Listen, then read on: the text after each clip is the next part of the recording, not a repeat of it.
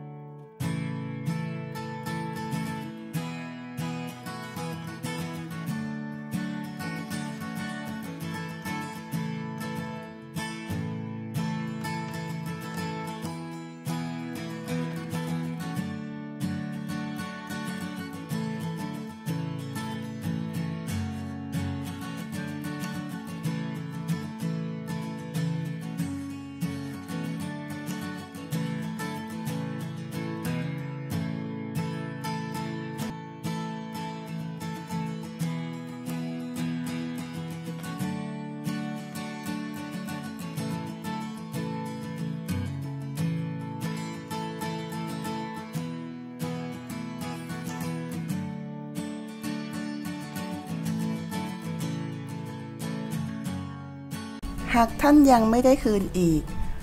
ลองมาฟังวิธีทวงหนี้อย่างไร ได้ทั้งเงินได้ทั้งใจคนถูกทวง มิตรภาพก่อตัวขึ้นด้วยความจริงใจและต้องใช้เวลา แต่อาจพังคลืนในพริบตา ด้วยเรื่องของเงินเงินทองทองทำอย่างไรในเมื่อวันนี้ คุณเกิดตกอยู่ในฐานะเจ้าหนี้ จะด้วยความตั้งใจหรือไม่ตั้งใจก็ตามที คุณจะมีวิธีตามหนี้อย่างไรให้ได้เงินคืน ยิ่งถ้าทำได้โดยไม่เสียน้ำใจกันยิ่งเป็นเรื่องที่ดีและน่าสนใจไม่น้อย ลองทำตามวิธีดังต่อไปนี้ดูนะคะ 1. ใจกล้าเข้าไว้ เงินของเราต้องเอากลับมา หลายคนมักไม่กล้าเอ่ยปากถึงเรื่องหนี้ที่อีกฝ่ายติดค้าง เพราะเกรงใจ กลัวลูกหนี้จะโกรธกลัวจะกระทบกระเทือนมิตรภาพและความสัมพันธ์ ยิ่งถ้าเป็นเจ้านายเพื่อนฝูง ญาติหรือคนรัก ยิ่งไม่กล้าทวง ในกรณีนี้ถ้าเป็นเงินจำนวนไม่มาก ไม่คุ้มแน่ๆ กับความรู้สึกที่ต้องเสียไป คุณอาจจะเลือกปล่อยผ่านไป คิดว่าครั้งเดียวช่างมัน แต่หากเงินก้อนนั้นมีความหมายสำหรับคุณหรือครอบครัวของคุณ ก็ต้องเริ่มต้นตัวเอง ให้มีความกล้าและทำใจแข็งให้ได้ก่อน คิดเสียว่าการให้ยืมเงินเป็นการให้ความช่วยเหลือก็จริง แต่ไม่ต่างจากการทำธุรกิจ อย่างน้อยถ้าไม่มีดอกเบี้ยเข้ามา ผู้ลงทุนอย่างคุณก็ต้องได้ทุนคืนบ้าง ไม่ใช่หนี้ศูนย์ 2. ให้เกียรติลูกหนี้เสมอทั้งต่อหน้าและรับหลัง ไม่ว่าลูกหนี้จะเป็นใคร สิ่งสำคัญก็คือให้เกียรติเขาเสมอ เพราะการเป็นหนี้ไม่ได้หมายความว่าคนนั้นจะต้องถูกลดทอนศักดิ์ศรี ความเป็นคนลงไปด้วย เขายังมีชีวิตด้านอื่น ๆ มีบทบาทในสังคมหลายด้าน เช่น เป็นผู้นำครอบครัว มีหน้ามีตาในหน้าที่การงาน ดังนั้นถ้าคิดจะพูดคุยเรื่องหนี้สินติดค้างกันอยู่ ก็ควรทำเป็นการส่วนตัวและทำอย่างสุภาพ แต่ต้องหนักแน่นในจุดยืนของเรา เช่น ส่งอีเมล คุยทางโทรศัพท์ หรือพบปะกันเป็นการส่วนตัว 3. ตั้งสติคิดให้ดีก่อนที่จะพูด การเริ่มต้นพูดคุยต้องมีการสร้างบรรยากาศที่ดี เพื่อลดความตึงเครียดให้ลูกหนี้ หรือถ้าเป็นเพื่อนที่ดี ก็หาจังหวะทวงแบบเนียนๆเช่น คราวที่แล้วเราจ่ายไป คราวนี้เธอจ่ายบ้างนะ แต่ถ้าเป็นเงินจำนวนมาก บริบทการพูดก็ต้องเพิ่มขึ้น ชื่นชมความสามารถของเขาบ้าง เพื่อเป็นการให้กำลังใจก่อนว่า ด้วยความสามารถที่เขามี คุณเชื่อว่าเขาปลดหนี้ได้แน่